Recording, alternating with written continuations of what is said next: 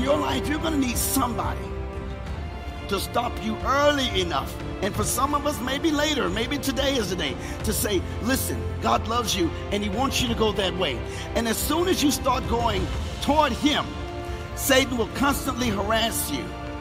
The reason some of you are catching so many troubles is not because you're following Satan, it's because you're trying to follow God, and the enemy is constantly, I want you to walk forward. Don't stop.